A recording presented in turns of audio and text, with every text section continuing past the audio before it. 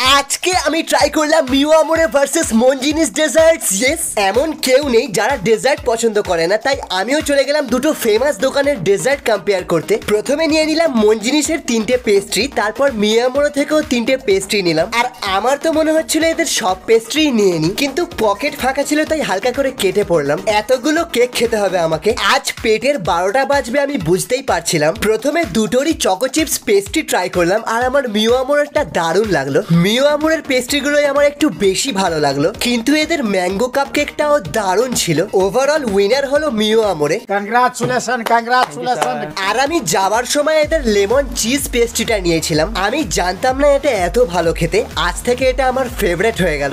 আমি পেস্ট্রি খাই, তোমরা আরও মিনি ব্লগসের জন্য সাবস্ক্রাইব করো। বাই